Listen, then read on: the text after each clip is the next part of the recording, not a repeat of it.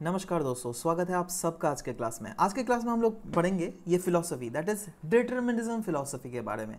ना हम लोग देखेंगे पहले दैट डिटर्मिनिज्म फिलोसफी जो है, ये होता क्या है? कुछ कुछ रियल लाइफ एग्जांपल्स के साथ मैं आपको समझाने की कोशिश करूँगा दैट एक्चुअली में डिटर्मिनिज्म में हम लोग क्या पढ़ेंगे राइट यही नहीं, ऐसे बहुत सारे जोग्राफर्स थे, ऐसे बहुत सारे स्कॉलर्स थे जिन्होंने इस डिटर्मिनिज्म कॉन्सेप्ट को एडवोकेट किया था। तो किन किन लोगों ने एडवोकेट किया था? उन्होंने क्या क्या बोला था? सब कुछ आज के चैप्टर में हम लोग यहाँ पर देखने वाले हैं। तो चलिए शुरुआत करते हैं। बट शुरुआत करने से पहले लेट मी टेल यू दोस्तों दैट ऑलरेडी हम लोगों ने जोग्राफी ऑप्शनल्स के हिंदी में और इंग्लिश में क्लासेस को लॉन्च कर दिया है राइट अगर आपको सब्सक्रिप्शन लेना है तो आप गूगल प्ले स्टोर से स्मार्ट रैंकर्स ऐप को डाउनलोड कर सकते हैं दोस्तों और इसके सब्सक्रिप्शन वन ईयर के लिए अटेन कर सकते हैं राइट सो so, इसके लिंक नीचे में डिस्क्रिप्शन में ऑलरेडी दी हुई है। आप जाइए आराम से डाउनलोड कर लीजिए। चलिए, अब डिस्कस करते हैं। देखो, ये जोग्राफिकल डिटर्मिनिज्म ये जो एक कॉन्सेप्ट है ना, ये इसके स्कूल ऑफ़ थॉट है, जैसे बहुत सारे स्कूल ऑफ़ थॉट है। एक डिटर्मिनिज्म थॉट है, एक पॉसिबिलिस्ट थॉट है। अगेन वो हम लोग नेक्स्ट चैप्टर में पढ़ेंगे। बट ओवरऑल ये जितने डिफरेंट थॉट्स हैं ना स्कूल ऑफ़ थॉट्स उसमें जोग्राफिकल डिटर्मिनिज्म भी एक थॉट है, जो क्या एक अपने तरीके से बताता है दैट हमारे ह्यूमन जोग्राफी में जो मैन है, वो कैसे नेचर के साथ इंटरेक्ट कर रहा है। मतलब यहाँ पे मेन जो फोकस दिया गया है, वह दिया गया है नेचर के ऊपर और बोला गया है नेचर जो है वो सर्वे सर्वा है।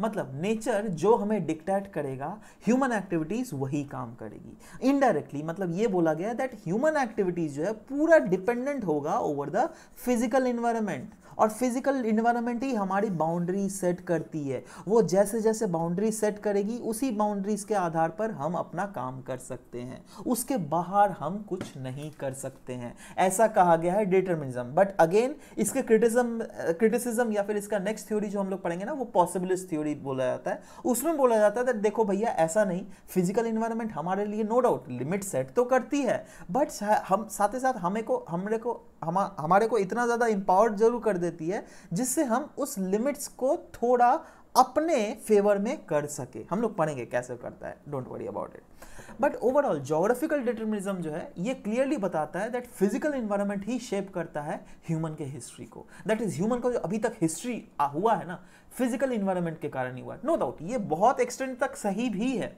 है ना? बट अभी देखो, हम लोगों ने पॉसिबिलिज्म कॉन्सेप्ट कब से आया? जब से ह्यूमंस चीज़ों को सीखने लगे ना, उसके बाद ही से ना हम बोल सकते हैं। है ना? जब तक मेरा आपके साथ कल्चरल इंटरेक्शन हुआ राइट आपने जो सीखा, वो चीज़ आपने मुझे ट्रांसफ़र किया। मैंने जो सीखा, मैंने थर्ड पर्सन को ट्रांसफ़र किया।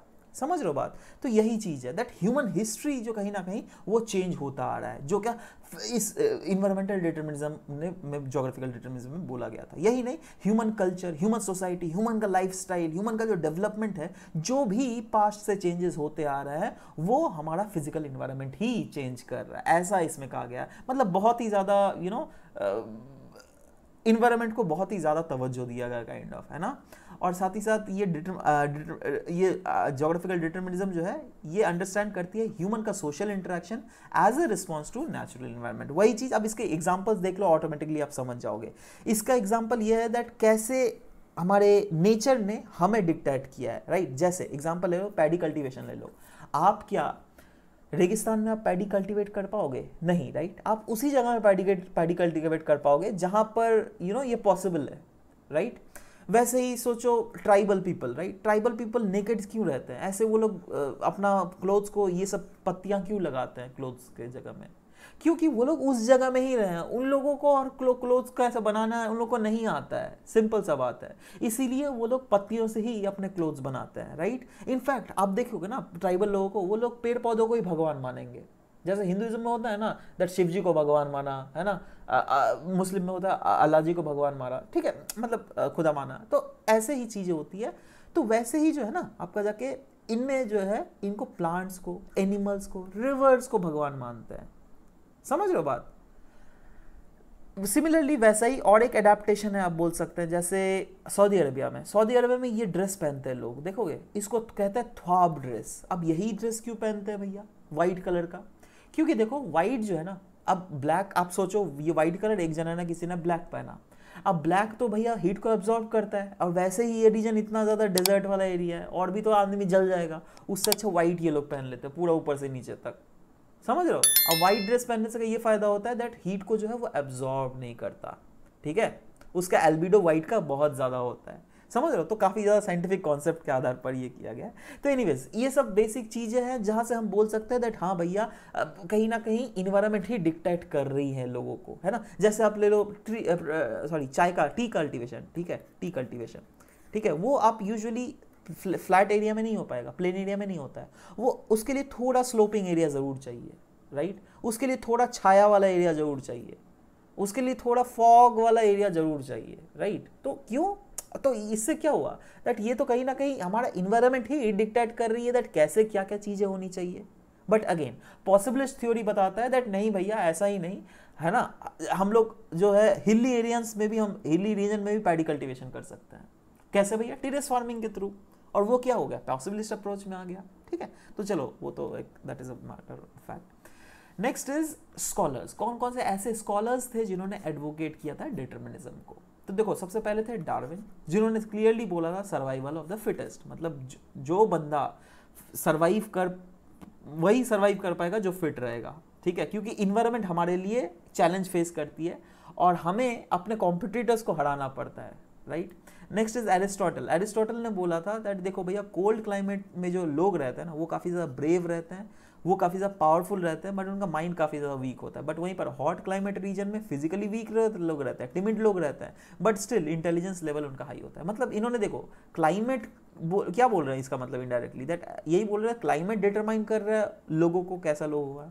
वैसे ही स्ट्रैबो थे, ये एक अलग स्कॉलर थे जिन्होंने एक्सप्लेन किया था दैट कैसे स्लोप रिलीफ और क्लाइमेट यू नो ये सब जो है component they were the work of nature कैसे नेचर के द्वारा ही स्लोप बना है रिलीफ बना है और क्लाइमेट बना है मतलब नेचर को ही सर्वे सर्वा काइंड ऑफ़ राइट नेक्स्ट है अल मसूदी, है ना?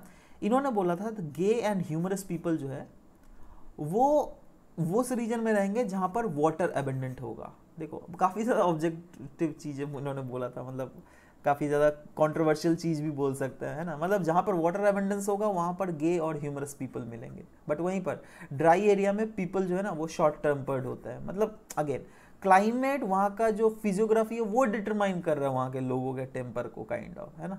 नेक्स्ट इज़ कार्ल रिटर इन इन्होंने बोला था देखो टर्किश पीपल का जो नैरो आईलिड होता है ना वो इसलिए होता है क्योंकि वहाँ पे जो डेजर्ट का इफ़ेक्ट है वहाँ से जो धूल आती है उसके इफ़ेक्ट से बचने के लिए उनका जो आईलिड होता है वो नैरो होता है। मतलब अगेन वही नेचर ही ना कहीं ना कहीं इंसान के इस, इनका इंसान के आई के स्ट्रक्चर को डिटरमाइन कर रहा है। वही ना इनडायरेक्टली ये बोल गया डिटर्मिनिज्म को। नेक्स्ट इज़ हमबोल्ट हमबोल्ट थे द इन्होंने बोला था the mode of life of mountainous people is different from plain area मतलब इन्होंने बोला that plain area mountain area में जो लोग रहते हैं उनका जीने का तरीका अलग होता है प्लेन एरिया से है ना? क्यों? क्योंकि माउंटेन उसको अलग तरीके से डिक्टेट करता है प्लेन उसको अलग तरीके से right right?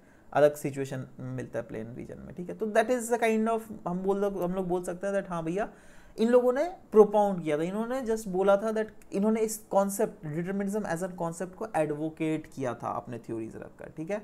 So anyways this was all about the determinism aspect we have done and will be meeting in next class guys till then bye take care and thank you thank you for listening to the whole video और अगर आपको geography optional classes में enrol करना है तो आप हमारे team से कंसल्ट कर सकते हैं.